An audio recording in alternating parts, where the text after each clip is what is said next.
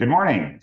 I'm Michael Bloom, Hedgeye's president. Thank you very much for joining us today on our webcast, America at a Crossroads.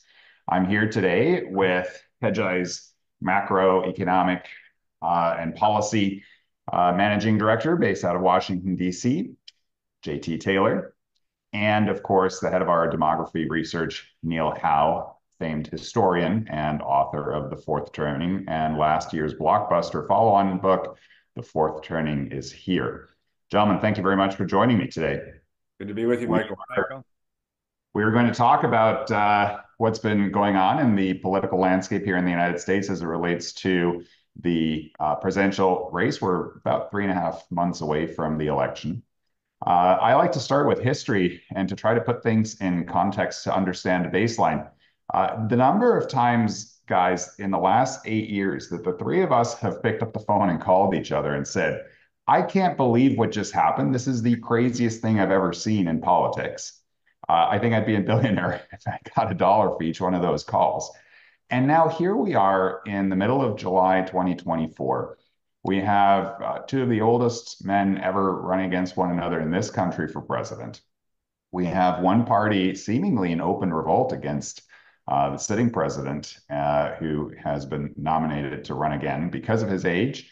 And we are just a few days uh, past an assassination attempt on uh, his opponent, which, for the whiff of uh, wind, could have led this to be a completely different conversation and uh, even more unprecedented. Neil, I want to start with you in the context of the fourth turning.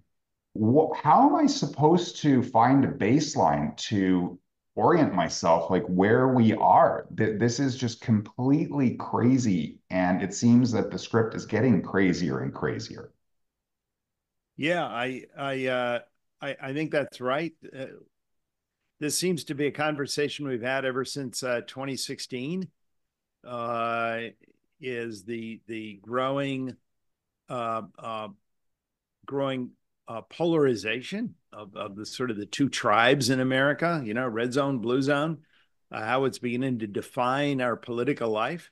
And increasingly in almost uh, Manichean terms, uh, Michael, in the sense that uh, what we see politically is driven by by by fear of the other side taking power, you know, and and we've just seen the rhetoric of the last two months both sides saying this. If the other side takes power, there will never be another election. Right? Democracy will come to an end. Uh, uh, there will be rivers of blood. There will be, you know, I mean, you go on and on. Uh, New Republic just had a, um, uh, a cover uh, image with uh, a poster for for Hitler, you know, with with Trump's face put on it. But you understand what I mean? That this has become, and this is why uh, there is very little movement in the polls except for people in the middle. I think that's what people should understand. Uh, Two thirds of all voters say there's absolutely nothing that would change their mind.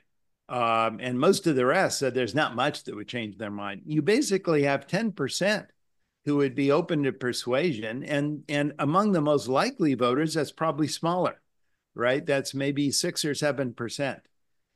Uh, so all of that motion. So a lot of it is getting out your base, uh, making sure that people come out, and it's all suffused with this image of Armageddon and violence, uh, meaning that if the wrong side wins, uh, it's all over for America. Um, and and I think there's a lot of worry in America about the increasing imagery of violence and dead ends, you know, for our democracy. Um, uh, PBS Marist poll actually just came out uh, a couple days ago, and uh, came to the interesting finding, uh, maybe alarming, uh, that 20% of Americans agree that violence may be necessary to get America back on track. Um, and interestingly enough, uh, younger people were especially likely to believe that. Um, this is 42% of Americans under age 30 uh, 14% uh, strongly agreed with that.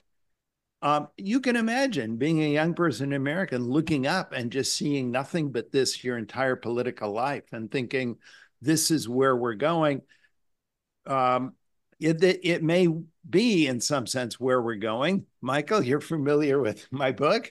Uh, and and uh, and and that's where we are. This is has to be seen in the context of of the fourth turning. You have two different parties representing very different agendas, mutually exclusive agendas for America's future. Um, one of them will come out on top. One of them will adjust to that, and we will come out a very different country in the end of it.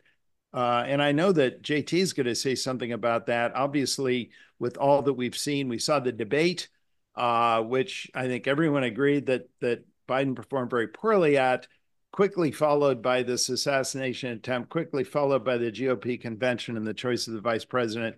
And I, I suppose one thing we want to do is just take a look at uh, how that's changing the political fortunes of the two parties at the moment. Yeah, we'll definitely uh, dig into that. JT, I mean, you obviously have been entrenched in Washington for much of your career. And, and, a little bit, I want to talk a little bit about the experience that you have being part of a presidential campaign. But are there any moderates left uh, in uh, Congress? And when you talk to them, what do you hear from them? Yeah, you know, there there are moderates left, and they it just um, in both parties. And I actually talked to an office this morning uh, on the uh, Republican side of the aisle, they really, I, I, don't believe they're attending the convention, if I'm not mistaken. Um, and it just, they feel like they're outcasts or outliers right now, and they're just alone or lone voices in the wilderness. And so the extremes, um, or maybe now the, uh, I don't know if you want to call them the extremes, but the the the most vocal elements of the parties um, are are dominating right now and uh, and they're not really leaving room for the moderates. And you know, I, I, I suspect that there's a larger chunk there. But what I've really come to realize here over the past, well, not just nine years, but especially the last nine months to a year, is that this it's about power, Michael and, and Neil. I mean, it it, it it these people want to remain in power, and if it means becoming a chameleon uh, for a, a period of time to get reelected is, you know, I, I used to think that there, and there still are noble politicians here uh, in Washington and across the country. I used to think that there were more of them, but it just feels to me, again, on both sides of the aisle, that the, the, the goal is to get reelected right now. And if you have to conform to whatever movement the, your party is taking, then you're going to conform to get reelected. I, I, I totally agree, Jaitan. One, one thing that strikes me is when you talk to individual congressmen, it's amazing how many moderates they are. Yep. But when it comes to voting, when it comes to their public stance, they have no choice. They have to band together because it's like an on-off switch. They either all win or they all lose. Um, and and uh, so they're they're they're pulled. Yep. Uh, uh very often against their will. And at some point, Neil, we have to do a, a segment on the third party. But I just want to get to, to Neil's point, Michael, because it's relevant here on these undecideds and polling these undecideds, it doesn't look as if there's a ton of movement there just yet, right? I suspect that we'll see some. Um, it's still early days. The assassination was only, what, three days ago. You always get a convention bounce. Um, if I'm not mistaken, Neil, I think Reagan, after his assassination attempt, his approval went up 8%. I don't think that's going to happen here. Uh, I think he's going to see a bounce. But again, this country is is is very very closely divided. It's polarized, as polarized as it's ever going to be. And I'm I'm going to be curious to see where the polls, again, Michael, I know we're going to get into that a little later, are headed uh, once we get through this. Once we get through the you know assassination cycle, and once we get through this news cycle and the convention, which by the way we'll get to in a second, looks as if this is going to be the most unified Republican Party I've seen for the most part in in recent memory. Yeah, yeah we'll definitely get into uh, those topics. I, I do want to stay on the fourth turning uh, for just another minute because one of the hallmarks of the fourth turning is a weakening of institutions, and I see think we've seen this, you know, as it relates to the Supreme Court. We've seen this to uh, a degree, a large degree, actually. I think as it relates to the Department of Justice and allegations that have been going on for for many years about the politicization of that. I, I'm shocked that now we're seeing this as it relates to the Secret Service. And I do think that this is a, a very scary and very dangerous environment because uh, the principal, the president, is, you know, by our Constitution, really uh, a, a, not just the head of state, but but an, an almighty element of our society. If we're starting to tear down the institution of the Secret Service, like how far into the fourth turning are we, and how does this evolve your thinking that you've laid out in the book, Neil, as to how uh, there's a denouement here? How does this all play out? Uh, your question about the Secret Service is interesting. Uh, uh, everyone, I think, is pointing to enormous failure, right? I mean, how was this guy climbed to the top of the building right next to the venue? Uh, it seems unthinkable. Uh, uh, obviously, questions are going to be raised. Uh, the uh, the head of the Secret Service, she's going to be grilled before Congress. Um, uh, but again, think of it in terms of the context that which is posed, right? Uh, if we lose, we'll never get another election. I mean, again, you you come back to this again and again. It's sort of an all or nothing point.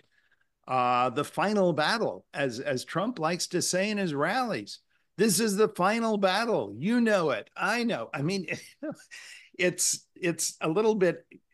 It's not quite a revival. It's almost. Uh, you're a, you're at the you're at you're you're at, at the Battle of Stalingrad or something, right?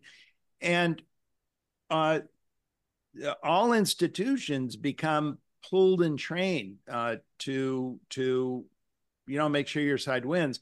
Uh, uh, I I think that this is actually going to be a case uh, that's going to be a little bit like the Reichstag fire.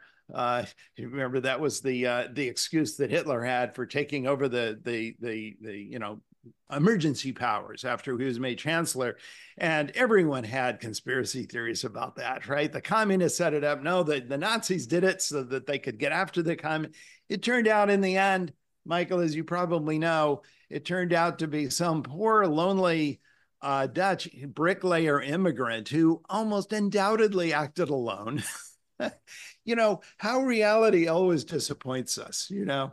And and and i think that this is another case. Uh, this was a um uh, a a lonely isolated you know 20 year old uh, who god knows what went through his mind. But you saw those statistics i just related as to young people thinking that violence will be necessary right um, and I actually looked that up. If you think that the number of young people under age 30 who think that, uh, who, who uh, uh, strongly agree that violence will be necessary, uh, that works out to seven or seven million uh, Americans under age 30, right? Um, so, in other words, are you really surprised? Now, I, I, just want to add, too, in the broader context of American history, assassinations and assassination attempts uh, are not uncommon. You hmm. probably know, uh, Michael, this is a violent country. Um, JT, I don't know if you remember Rap Brown. He used to say that violence is American as cherry pie. Uh, Rap Brown was a radical back in the 1960s. Um, but about one out of every four presidents has had either been assassinated or has a serious assassination attempt against him. Uh, that was true for uh, for Truman uh, during his presidency. He was chased from room to room by you know a group of Puerto Rican separatists who were trying to kill him.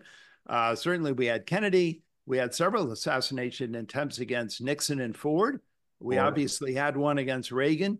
Interestingly enough, uh, I would say over the last several terms, we've been remarkably free of assassin. I mean, yep. JT, I mean, if I have to put it in historical terms, many people have been referring recently to um, to Teddy Roosevelt in that famous speech when he was in Bull Moose presidency in 20 uh, in 1912 uh, when he was actually hit by a bullet that I, I, believe was deflected by a book but he bled for an hour while continuing insisting on delivering his speech saying it takes more than a bullet to bring down a bull moose as i recall I think about this. I mean, you you you just guys. We've got Jackson McKinley. I mean, go oh, on. Jackson was a yeah. The the but the gun didn't go off, and Jackson personally went and grabbed the gun out of his hand.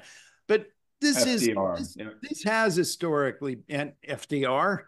Uh, and FDR was actually similar to this one in the sense that it was before he actually assumed the presidency. Um, and again, the the the bullet, someone hit hit the guy's hand. I, I believe that was Giuseppe Zangara. Uh, the the someone hit his hand, and instead it killed Anton Cermak, who was the who was the mayor of Chicago. Um, and FDR was spared. But I just, guess my I, again, it's yeah. not exclusive to us. I mean, you're seeing we we see uh, assassination attempt in, in Slovakia. I yeah, mean, all across the world. Uh, uh, former Prime Minister Abe. I mean, it's it's not. It, it, while it, it, it feels like it's exclusive to the U.S. at times, uh, we are now are seeing it more and more uh, uh, around the globe. Um, so but unfortunate. all all that said, we're a pretty violent country. We got a lot of guns. And you can go back in British history, for example, how many assassination attempts or successes have there been? Well, very, very few, right? So, um, but I, I, just want to put that a little bit in perspective. As to the uh, electoral impact of an assassination attempt, I just think it varies. Uh, uh, it was very positive for Reagan. I think we all remember that, those of us who remember it. Uh, but it, uh, I don't think it helped Truman at all, who did very poorly in 1950 and obviously, you know, wasn't there anymore in 52. Uh, I don't think it really helped Ford.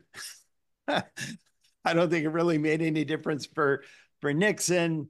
Uh, and obviously, uh, Teddy Roosevelt lost his bull moose effort to to have a third party take hold. But um, uh, I I agree. Uh, uh, it's it's going to make a little bit of movement, not a lot on the polls, but the fact that you had such a terrible uh, debate performance. I don't know if you want to say anything about this, JT, but the but debate performance, which was shocking to a lot of people. I know a lot of uh, Democrats just turned off their TV. They couldn't, you know, or turned turned off their computer or whatever. Uh, they couldn't watch it any longer.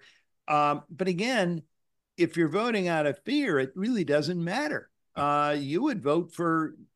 You remember uh, uh, President Wilson in his last year was virtually comatose, but you would vote for a comatose Biden and his staff rather than allow Trump to get in. I think that is would be the attitude of a lot of uh, uh, uh, core Democratic voters. So it even that may not make that much of a difference.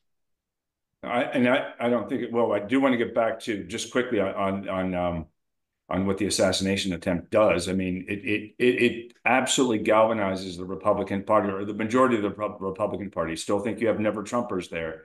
If you were a a lukewarm Republican who's still going to cast a vote and might not be excited with Trump, I do think the events over the weekend get you to the polls. Uh, so I do believe that it is going to have a net very positive effect on the race. I think you're seeing that in some of the polling right now, not across the board, but some of the polling right now. And um, uh, and it's going to give Trump some momentum. It changes. The other thing it does before we get to, to Biden, it changes or is changing the complexion of the convention right now. And they're trying to stay positive. Apparently, Trump's speech is taking a 180 degree turn from just going, he said was going to go hard after Biden. And now he's going to preach unity. So if he can sustain this, by the way, this is a much more disciplined Trump than we've seen in nine years. And you saw that in the silence after the debate, which we'll get to again in a second. And then um, in sort of this turn over the past week and since the assassination, and it does look, it does change people. Uh, and, and, and God forbid any of us should have to go through that. so maybe he will make the pivot we've all been looking for for nine years and and continue to galvanize the party, uh, continue to galvanize their message, uh, and just sort of make them in, in untouchable going into the fall. On the debate side of things, I mean, it's still two two points. Everyone was pointing. We had talked about this before, but everyone was pointing to uh, Biden's State of the Union. I'm like, guys, you have to understand he's reading from a teleprompter, right? We've seen his cadence. We've seen him slowing. Uh, I don't think anyone realized how much. And you, you know, having been through debate prep for a vice presidential candidate before, yes, you can wear thin uh, on that candidate and just sort of pound uh, things into his or her head and and and weaken them going into that debate. Uh, the jet lag thing I don't buy, the cold thing I don't buy. He, he just did. He just wasn't on, and it's damaging. And again, people are that debate uh, performance is indelibly etched in people's mind. There's no going back. I don't care how many uh, interviews with but Lester Holt, George Stephanopoulos, how many rallies? People are not going to forget that debate performance. You can't Yeah, paper I- over it. You can't do speech after speech after speech. Um, and it's it's a I- big I- problem for the Democrats if they don't change course. I, I agree with you, JT, and and and I will say, you know, we we've been near Washington D.C. for a long time, and look, we were all talking about it back in 2020. You remember, uh, everyone was noticing that he was slowing down. Uh, he wasn't quite what he was, and people were wondering, is he going to last four years until now? We assumed that he would pass it on. He didn't. I think that was a terrible mistake for the Democrats, and then they started hiding him. You know, they didn't have him come out for many performances. Everything was very scripted. Um, and it was kind of survival for, you know, the White House team and staff. Um, I do I do agree with you that I think the momentum of events right now is pushing Trump in a good direction and pushing uh, Biden in a bad direction, in the sense that Trump, as he's becoming more confident, is becoming a little less acerbic, right? A little less polarizing. Uh, I was talking about his discipline after the debate. I was amazed at his discipline during the debate. He didn't say anything when Biden was talking. That was the best thing he could have done, right? Just absolutely say nothing, stay polite, uh, and then hammer his key points again and again, right? I mean, he was pretty disciplined and he had higher energy. I think the biggest thing about the the assassination attempt is that it it came on the heels of the debate and it accentuated the contrast in the vitality level, right? Uh, and I, I think that's that's what everyone is sort of thinking about in their minds right now. The image of Trump with his fist pump, right, right after with the with the blood on his face on the one hand, and then and then a, a, a Biden sort of having trouble following the thread of the debate on the other. Th- this is very favorable to the to the to the Republicans, and I do think that Trump now, by pulling back, knowing he has an edge, knowing he can pull back. Remember that political leaders always move back to their core when they feel in trouble. Yep. And I think so. Biden is uh, Trump is pulling back from his core. He feels he can afford to. Meanwhile, Biden is going to his core. Would you agree, JT? Recently, yeah. Biden is going to his core. He's now the the underdog. He's fighting the elite. You know, he's almost assuming a Trumpian persona, fighting all these uh, commentariat. You know, are all against him. Uh, I don't think that's going to work for him because he's always been the candidate of the of the the the machine, the center, the It, it, the it will, it will not work for him. Uh, it will not work for him. And Biden, I mean, and Trump, I do believe he's got a different team around him. Uh, so you've got to give this new sort of troika in his orbit credit for the discipline during the, the debate, after the debate. I mean, did you ever think, Michael or, or, or Neil, that he would be silent for over a week after that debate? I mean, think about how much discipline it would take to get that man uh, uh, to, to shut up for a week.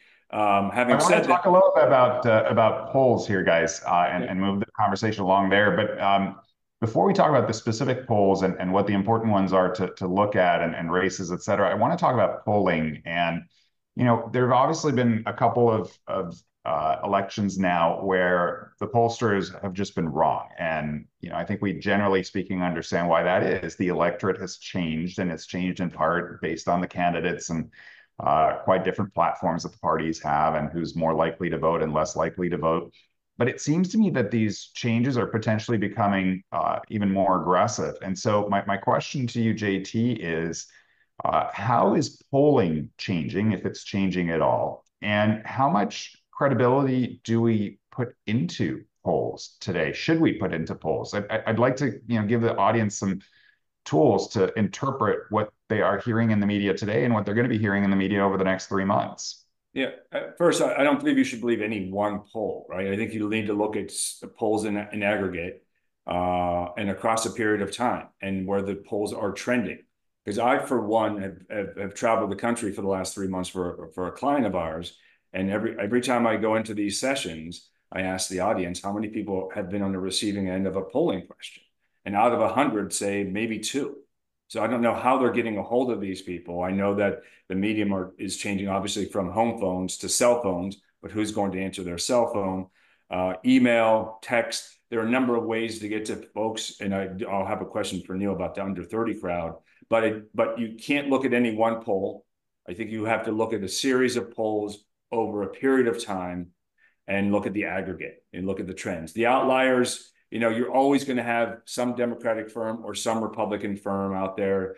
Um, I think there was one that predicted the Trump victory in in, in uh, 2016, uh, and that was the outlier. Every once in a while, the outlier wins, but you you do have to look at these across the uh, across the board. I tend personally not to believe in the network polls. I love the um, the Quinnipiac, uh, Siena, uh, those those types of, of entities who I think are are are more focused on polling and the art of polling and doing it right. I, I'm not saying that the networks have an agenda here; they probably do. Uh, but I, I, I, look at those polls. But again, I look at a series of polls uh, over a period of time and that aggregate and see where that trend line is going.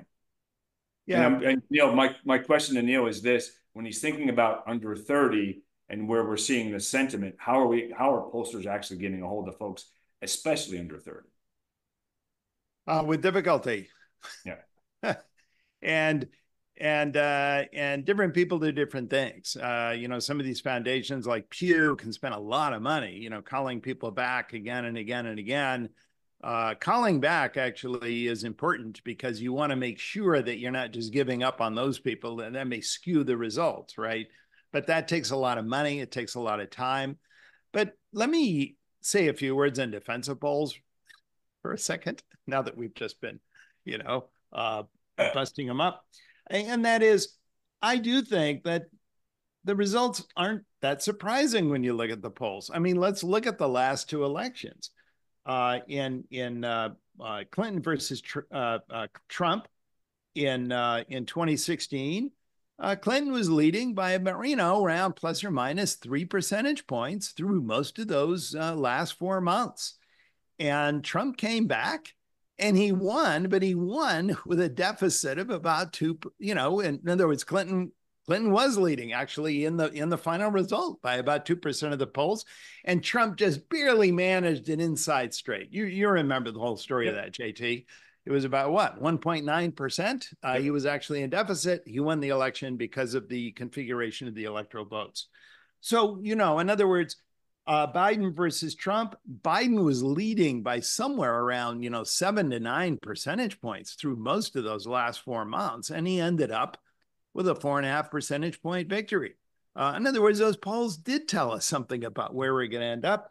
And right now the polls look really good for Donald Trump. I'm just telling you because right now he's leading by about three percentage points.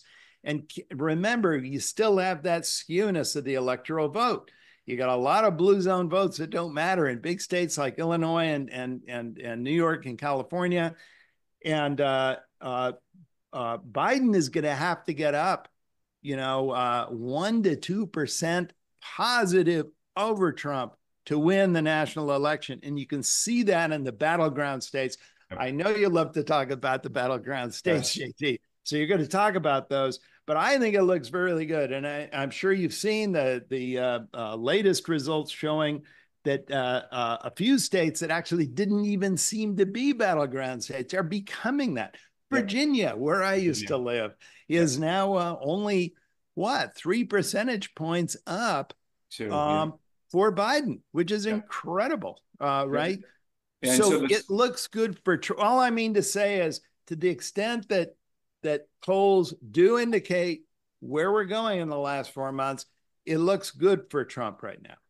Um, so, and, JT, what are the battleground states that you're seeing here for for November? Yeah, and it's pretty much the same as last year. And that was the second part of, your, of, of my answer, Michael, is that don't worry about the national polls. I mean, you could you could national polls. It's, they're trends, the trend lines, but focus on the, the the the states: Michigan, Pennsylvania, Wisconsin, Arizona, Nevada, Georgia, and maybe North Carolina. Although, although as Neil pointed out, Arizona was plus seven Trump last night. Georgia, according to uh, the, some recent uh, uh, polling I've seen, they're already making it like kind of like light pink right now instead of purple. So they're already putting it in the Trump Electoral College category. They're states like New Hampshire, Virginia, and Minnesota could be in play. Uh, but the, the, top tier are, are what I said, especially the, the you know the, what's really important. Why that this Vance pick is is uh, uh, um, kind of um, uh, strategically smart because neighboring Ohio, uh, neighboring Pennsylvania, my home state, and Michigan, not to mention Wisconsin, are all going to be fertile ground for Vance. In fact, I saw right before I logged on today uh, dived into this, I saw a piece where, and I, I think I tweeted this yesterday, Vance is going to camp out in Pennsylvania. They win Pennsylvania, it's game over. Uh, so, and and there's a, a lot of you know cross border uh, appeal there uh, from the from the Vance side of things to uh, a, a, segment of the population. So um, those are the states, and again, that map is expanding. And Biden keeps saying you know, show me the polls, show me the polls. I, apparently, they're not showing him the polls. I uh, agree. I agree with that. They're not showing him the polls because I, I, don't get it. Yeah, I think anyone could show. Well, it's the same people that told him he should debate Trump early on. Right. Yeah, the same people are right. So let's talk about Pennsylvania. I mean, Pennsylvania was the blue wall in 2016. Uh, Hillary Clinton never thought that she would end up losing Pennsylvania. Uh, is anything changing in the demographic or economic makeup of Pennsylvania, or does this really come down to dollars spent? Is is this just attrition warfare, uh, financially speaking? Uh, you know, I, I, I, JT probably has a better take on Pennsylvania than I do. Look, Biden has spent a ton of money on Pennsylvania and hasn't really moved the needle very much for him. Um, I don't know, JT. What what are you hearing? I mean, uh, I live near Pennsylvania. I go up there sometimes. The part of Pennsylvania I see near Pittsburgh looks pretty red zone to me. Uh, yeah. But then again, you know, like all these states, you have the urban and you have the rural, uh, and they're different worlds, right? Yeah. Um, JT, what do you see in Pennsylvania? Yeah, I mean, the, the, Michael, I don't think you've heard this before, and, and, probably some of our viewers have. But Pennsylvania is uh, Pittsburgh in the west, Philadelphia in the east, and Alabama in the center. Uh, and uh, so demographically, I don't think much has changed. I think uh, the current governor, who's, you know, should there be a change in ticket on the Democratic side, and right now it doesn't look that way, uh, Governor Josh Shapiro, centrist Democrat, beat the Republican by, I think, double digits there. So I think from a registration standpoint, it probably slightly favors the Dems. Um, and the, the, the Democratic turnout machine there favors the Dems, obviously. But remember what happened in 2016. That was a critical state uh, for Trump in 16. Uh, look where he was this weekend. You know, 30, 30 minutes away from my hometown, uh, up in, in, in, in, Western Pennsylvania. Trump is going to be spending more time there. Uh, uh, as I said, Vance is going to spend more time there. As it stands right now, it's a true toss up state. And I'd have to say uh, that it probably leans uh, Trump uh, um, at this juncture. So let's uh, look at some of the Senate races then. What do you think the the most interesting and, and bellwether Senate races are that you're watching?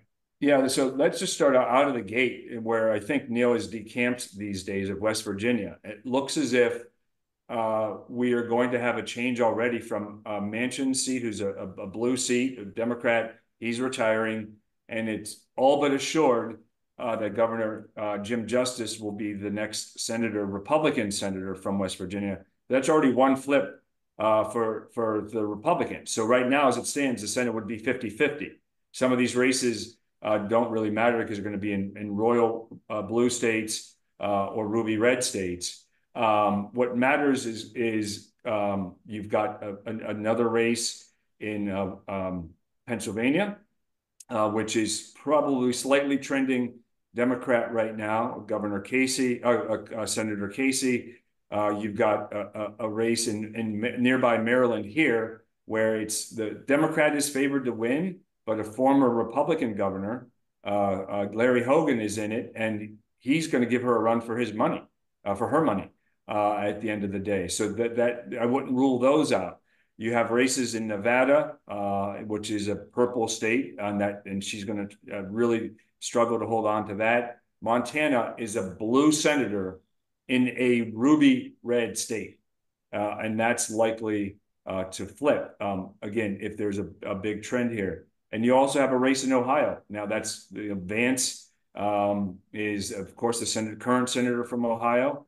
Uh, but there is an open seat. I, am sorry, there's a Democrat in that seat right now, uh, running in a very red state right now. Now with a vice presidential candidate uh, on the ticket, and that's uh, Governor uh, Senator. Sher- I keep messing that up. Sherrod Brown Sherrod is Brown. the current senator there. They're going to have to do everything they can to hold on to that. So the map, the Senate map, clearly favors Republicans. As it stands, it's 50 50, and all the, the Democrats have to hold all the seats I mentioned, plus, plus one or two more to maintain uh, uh, control. And it, it, it's going to be a hard act to follow. So our prediction is clearly the Republicans will pick up the Senate. Yeah, and and uh, obviously, if the if they win the White House, control almost automatically goes anyway um, uh, as a tiebreaker. But I, I would agree with you. Uh, Sherrod Brown, you would think, is the kind of uh, uh, uh, kind of gritty, kind of uh, working class, somewhat culturally conservative senator, you think that would do well, right, uh, for the Democrats um, in Ohio. But he's up against an interesting challenger. Uh, Larry Hogan, what has surprised me, and this is the different Trump, right? I think you're right. It's the different people around Trump, the different uh, personnel in charge of the uh, uh, Republican National Committee, particularly in charge of the Senate races. Um, and that is that Trump is actually backing Hogan against a lot of the MAGA type. You remember in the uh, when when Larry when uh, when Larry Hogan um, uh, uh, said was was was quoted as something as saying, "Well, you know, we we should trust the result of the jury." Do you remember that on the, with the with the criminal case? And all of these MAGAs are piling on him, and Trump defended him. Yeah. Uh, very unlike his performance back in 2022 when he was always going with the more MAGA type. He's beginning to see that he needs these more moderate, uh, uh, you know, mo- more moderate GOP candidates. Larry Hogan, it looks possible. I agree with you. Montana um, uh, is uh, uh, Montana's another one. Possibly even New Mexico. We didn't talk about that. Yep. Arizona is going to be a toss up and, and uh, Arizona. Well. Yeah. But the, the point is, is that that just to keep it 50 50, the Democrats would have to win all the questionable races. You always get a good sense of how difficult it is for the party by always looking back at the election six years earlier, right? That was 2018 when the Democrats actually picked up a lot of marginal seats. They have to defend all those seats this year. Yeah. Michael, one third of the Senate is up every two years. Uh, the, the, the Republicans have uh, less ground to defend, 11 seats. Um, the Democrats have 23 seats. Uh, it's 34 this year, 33, 33, 34. And a lot of those Republicans uh, races aren't even in common. Texas, Florida, those aren't going to be contests. And uh, then looking at the House, um, where yeah, Michael, the whole House is the, the whole House is up for grabs, of course, every two years, 435 seats.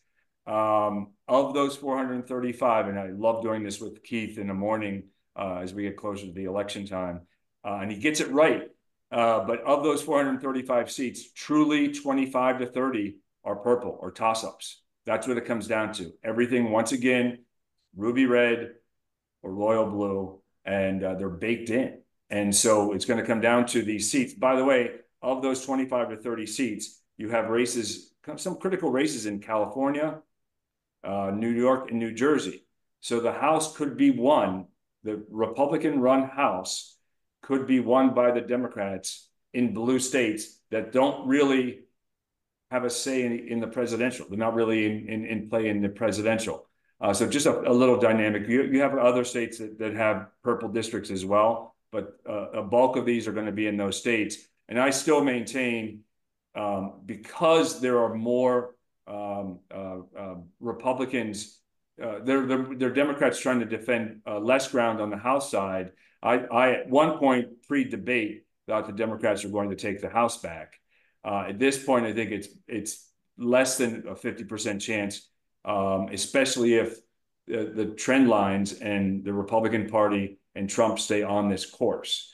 I happen to believe that if Biden stays in the race, though, uh, that all of his money will dry up. There already there are entities that are already withholding 90 to 100 million dollars from the uh, Biden presidential campaign, I believe that that money would would gravitate, would flood to Democratic House candidates to try to get them to take the House to have a check on the Trump presidency.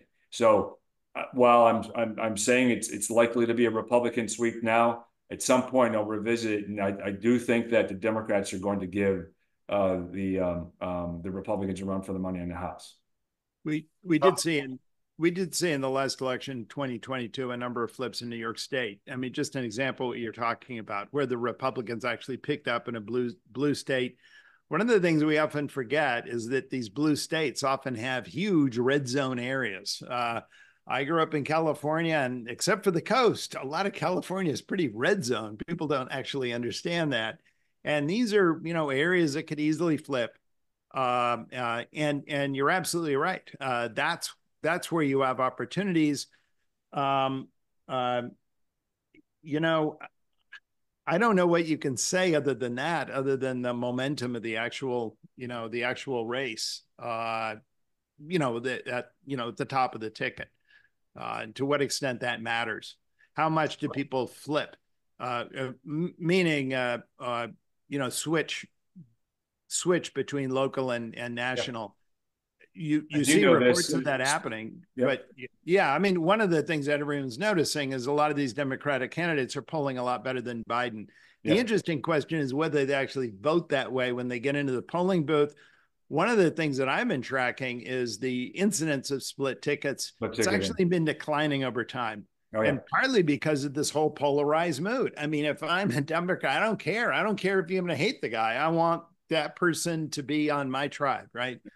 Um, so we see a decline of split tickets, and it's going to be interesting to what extent people are going to split.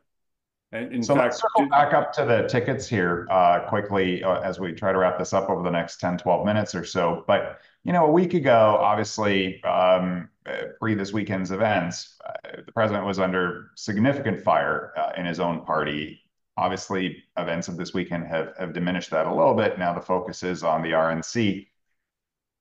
Do either of you think that Joe Biden is not going to be at the top of the ticket for the Democratic Party at this point in time?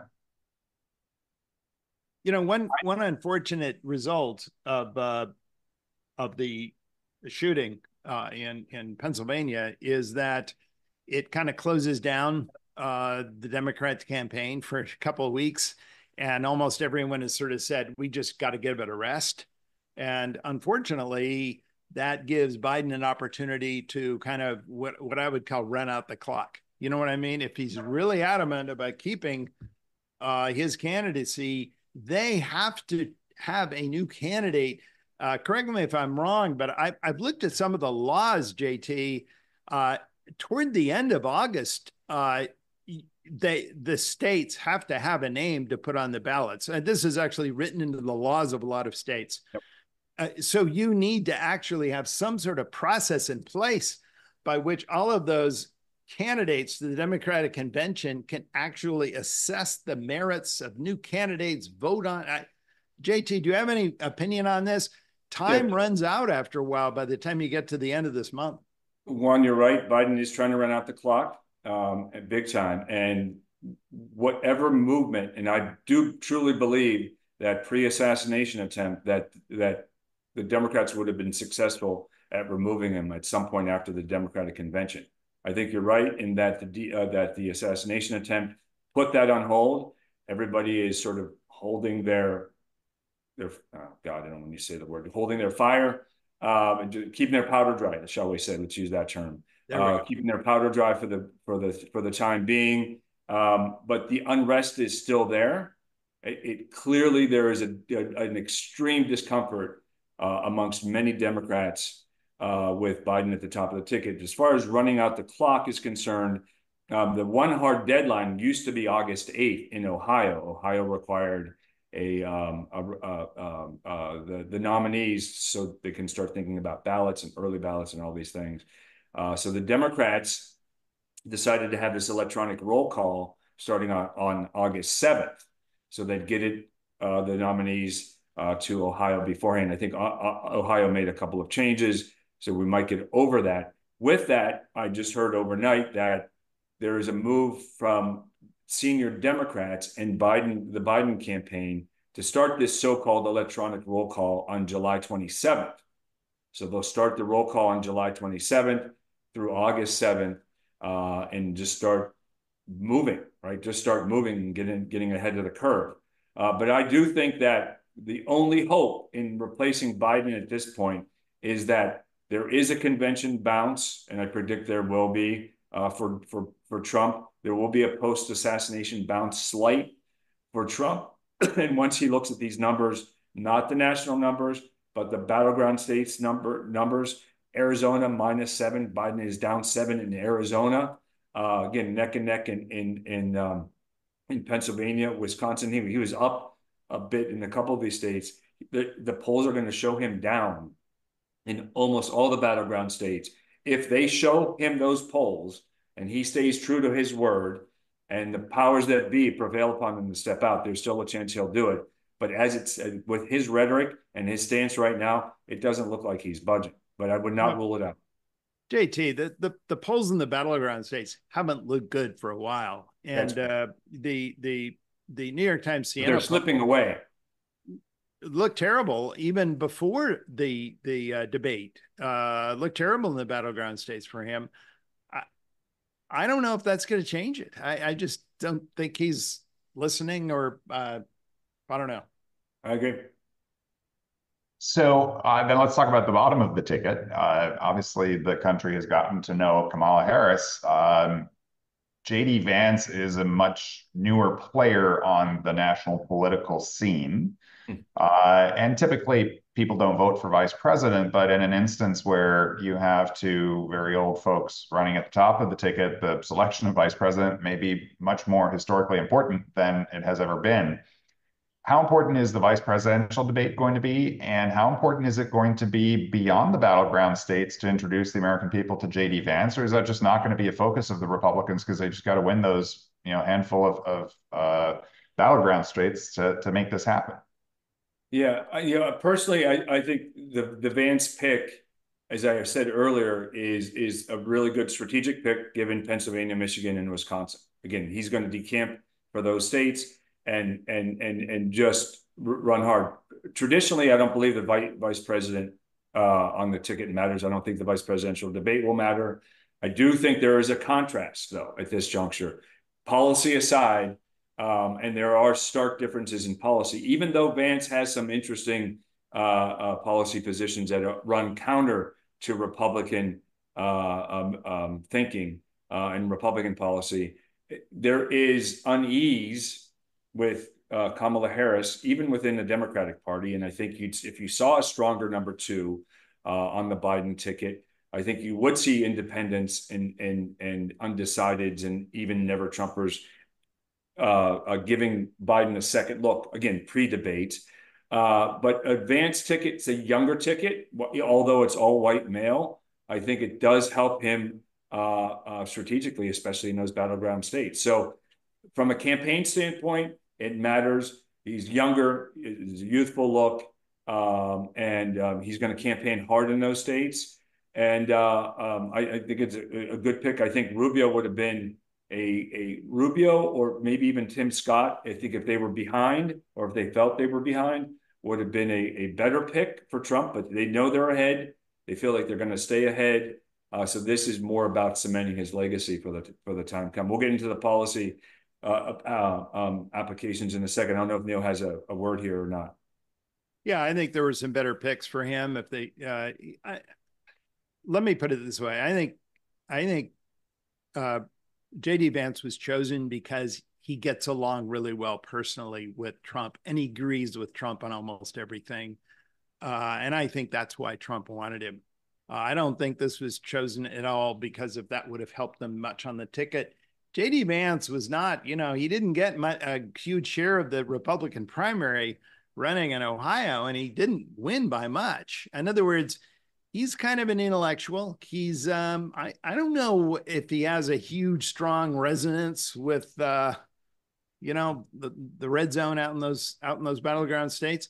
Maybe, uh, it'll be interesting to see. I think the debate actually would be very interesting between Kamala Harris and JD Vance. Uh, it'll be very snarky and prickly because uh, JD Vance is sort of this, um, you know, he's a kind of an Ivy League kind of guy, and and they're going to be, you know, trading stuff. It's going to be a very different kind of debate than between Biden yeah, and Trump. Uh, let me put it that way.